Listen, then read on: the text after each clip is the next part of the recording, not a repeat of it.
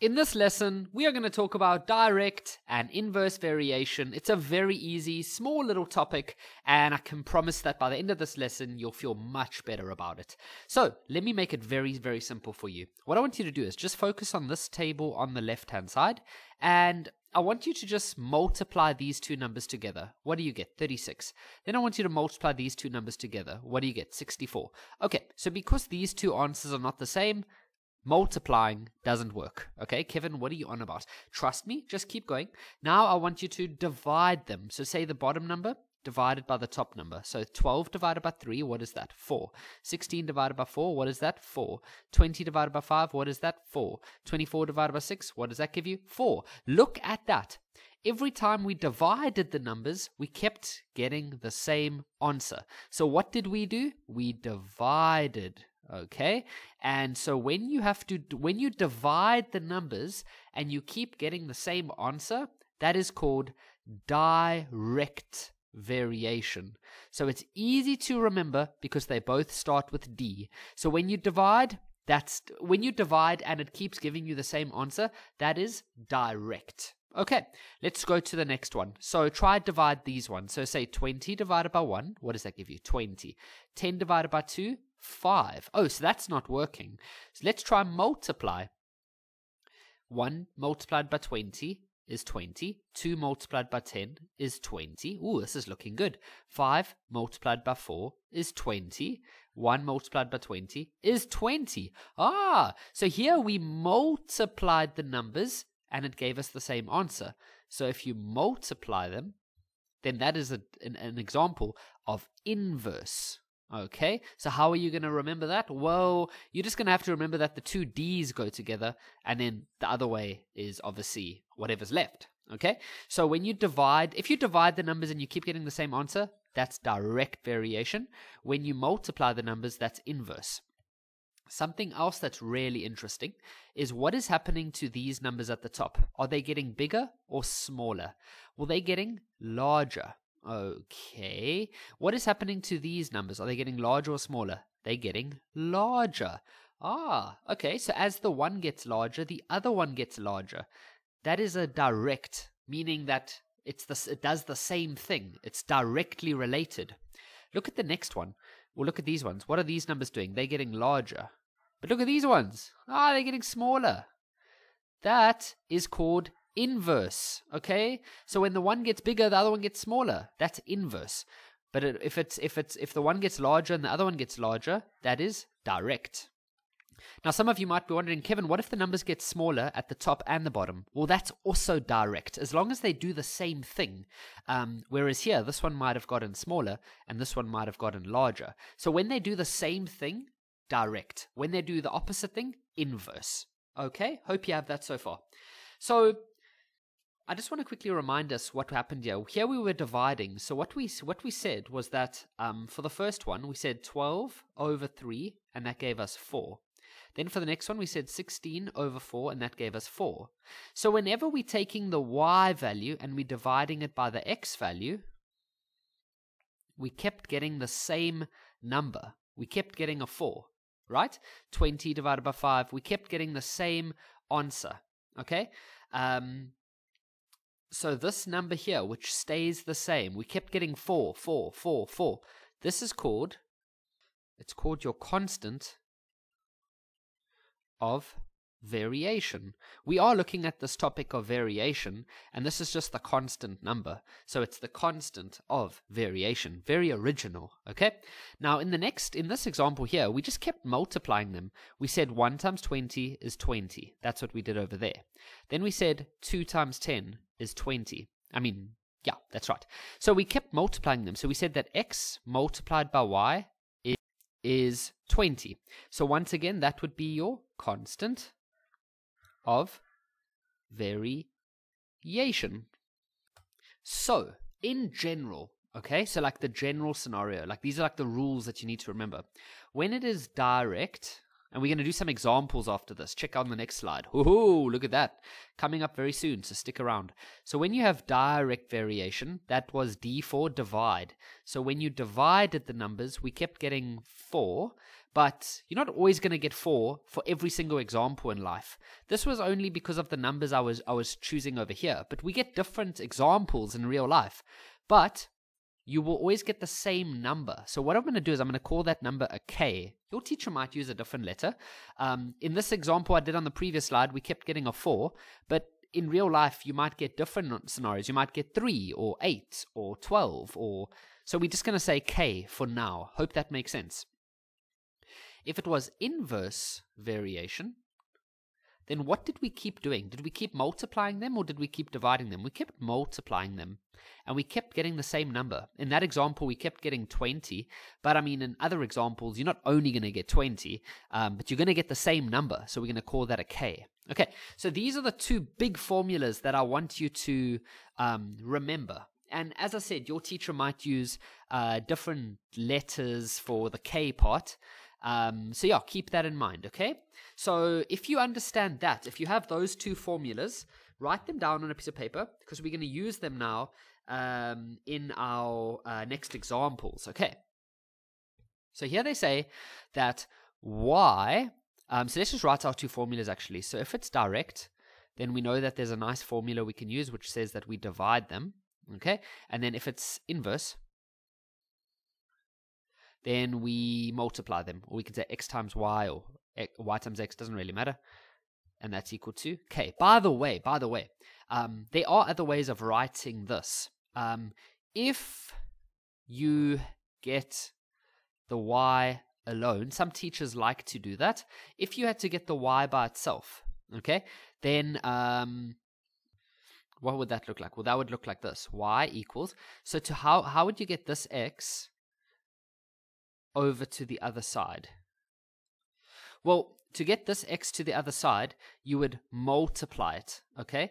Um, because you would have to multiply it by x on this side and multiply it by x on this side so that it would cancel out on that side, and so you'd end up with that. So some people or some students like to use this formula, other students like to use that formula. They both actually the same thing, um, and your teacher might use both at the same, like in, in different scenarios. So you just have to be comfortable with both, okay? And the same is true over here. If you had to get the y alone, so if you get y alone, then um, that's quite easy. So if you want to get this by itself, then you have to divide by x on both sides so that this cancels out.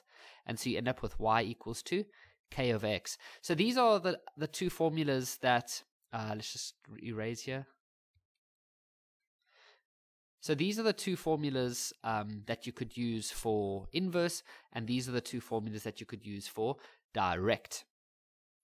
So let's go add in our formulas. Let's add up, let's update our formulas that we have. So for direct, you could either use y over x equals to k, or if you want the y by itself, you could use that. Then if it's indirect or inverse, sorry, I don't know why I say that inverse. Then um, then you could say uh, that when you multiply them, you get the same. Or if you had to get the y by itself, then it's like that. Okay, so those are the two like things that you need to know right now. So here they say that y varies directly. Okay, cool. So we're not going to use any of these, okay, um, as x. So y varies directly as x. So now you need to make a choice. Um, do you want to use, uh, do you want to use this one? Or do you want to use this one? So it's up to you, but I'll show you as we go along. They tell us that y is 14 when x is 5. Find y when x is 3. Ah, so they're only giving us the y's and the x's. So if we go back to our previous tables, here they only gave us y's and x's. But we have a problem because I, I don't know about you, but on my formulas that I can see, there's k's. There's k's. Now we need those k values. The k value is the constant. What was the constant over here? Um, here, here the constant was a 4. We need that. And here the constant was a 20. So we need to go find that constant. So we know that we're not going to use these formulas. So to find the constant, we could just use this. Because k is the constant. So we could say y over x is equal to k. Um, and what you do is you go fill in any partners. Now, what do I mean by partners? Well, if you look on the table, those are partners. Okay? those are partners, they go together. Those are partners, and those are partners. So they go together. So they said that when um, y is 14 when x is 5. So these two are partners.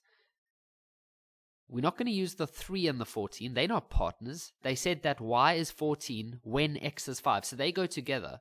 So we're going to go say 14 over 5, and we're going to get our k value. So if you had to go work that out on your calculator, you get 2.8. Now that 2.8 is beautiful. Why is it beautiful, Kevin? Why are you saying weird stuff about maths?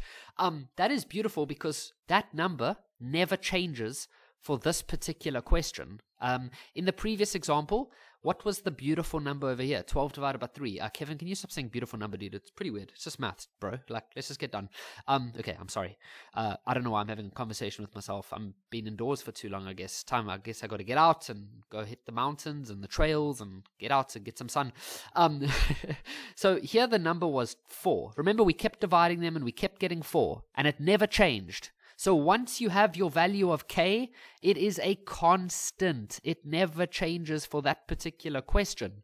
So this 2.8 never ever ever changes for this for the rest of this question. So now we can go to this formula and we can say y equals to kx because they said, can you please find y when x is 3? Ah, so we know that x is 3, so we can plug x as 3. We also know k, because we just worked it out, and it never ever changes. So we can say y is equal to k, which is 2.8, multiplied by x, which is 3, and then we can go work it out.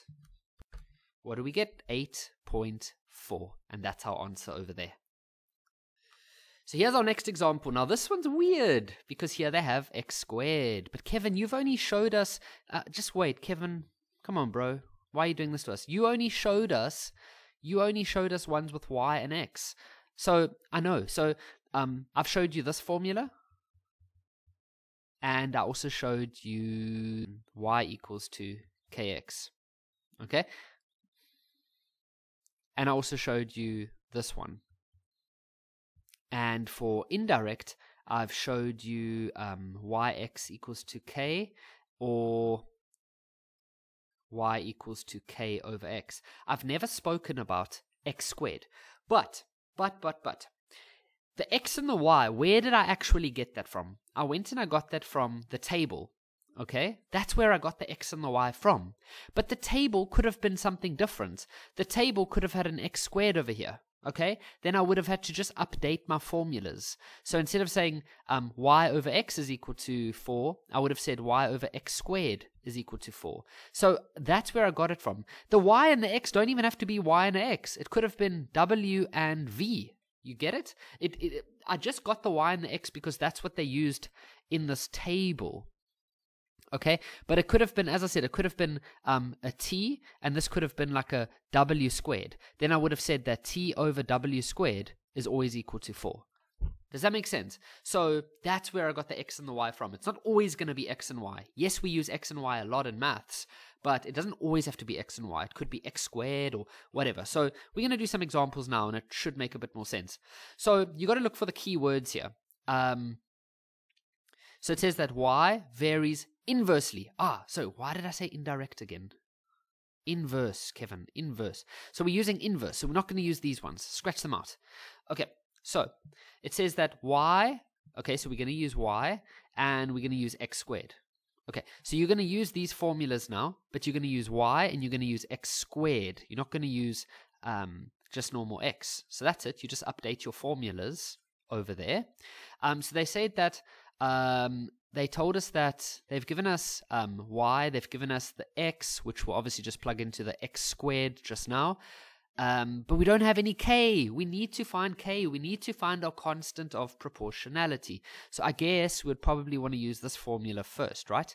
So we could say that y x squared equals to k.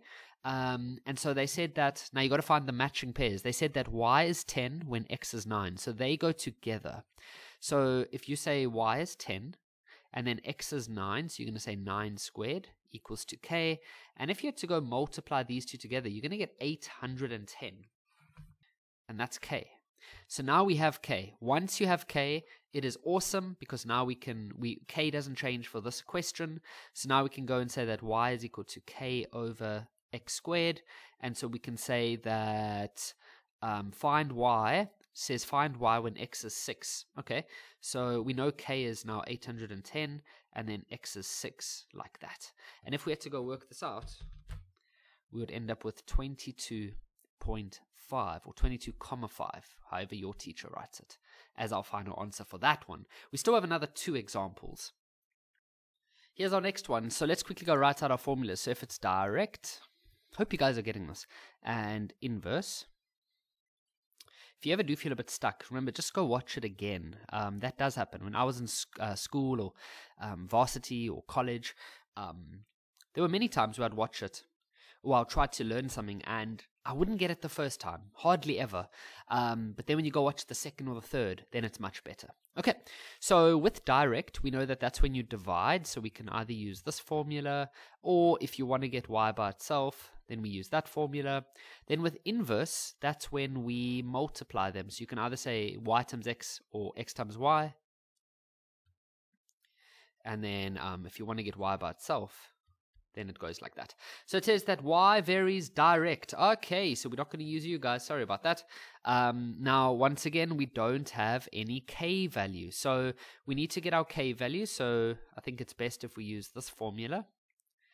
And we know that y is 5 when x is 14. So they go together. So 5 over 14 is equal to k. So k is equal to 5 over 14. I just want to see if that simplifies. Okay, I would leave it as a fraction. Don't write it as a decimal. Um, so there's k. Great.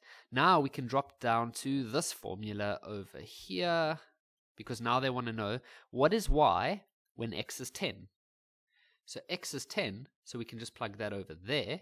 Uh, k we have. K we have. K never changes, remember? It's a constant of proportion, of variation. Constant means it doesn't change. So we can say y is equal to k, which is 5 over 14, multiplied by x, which is 10. And if we had to go work that out, we end up with 25 over 7 as our final answer. Here's our last example. So let's quickly write down our formulas. So by now, you guys should be feeling pretty good, I would hope. So with direct, we know that that's when you divide them, d for divide. And then if you get the k, I mean, if you get the y by itself, you write it like that. And then you get indirect, inverse, Kevin. Goodness me. Inverse. so then we say uh, y multiplied by x we said that that's always going to be equal to the same number, and then um, y equals to k over x. So here they say y varies inverse. Okay, so scratch these ones out. We're not going to use that one. Um, as x squared. Okay, don't panic. So we're using y and x squared. So we'll just change the x to x squared. Okay, that's easy. Now it says that, um, okay, so we need to find k. So we use the formula for k. There we go. Um, so they tell us that when y is 5, x is 6 over 5. Okay, so when y is 5, then x is 6 over 5. So we put the x as 6 over 5, but then we square it. Then we just go type all of that on the calculator so we can see what k is. Okay, so this one's nice because it, it's a decimal that stops. So you can you can keep it as a fraction or as a decimal. It's 7.2 or 7 comma 2, however you want to write that. So now we have k. So now we can go use this formula over here. So y equals to k over x squared. So now they say find y when x is 2. So x is 2, so you plug that over there. And k we have, because we worked it out, as 7 comma 2. That's amazing. So we can say y equals to 7 comma 2 over, let's say 7 point or 7 comma, however you want to write that. And then uh, x is 2, and then remember to square it and your final answer should be 9 over 5. 9 over 5. All right, so that's it. I hope you understand how to use direct and inverse variation.